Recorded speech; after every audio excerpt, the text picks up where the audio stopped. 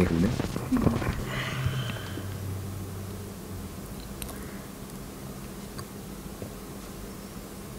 Илья, Мы же договорились имя не называть. но теперь вы понимаете, что отсюда будет сложно выйти. Да. Ольга,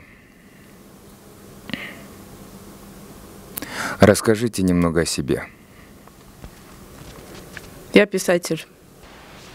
Пишу книги, пьесы, сценарии тоже пишу для фильмов. А теперь немножко про уран. Уран – это химическое вещество, которое путем обогащения приобретает уникальные свойства и впоследствии может быть использовано в ядерной промышленности. Мы заметили с моим коллегой, что здесь стоит 18. 18 плюс. Стало быть, здесь есть постельные сцены. Сколько их?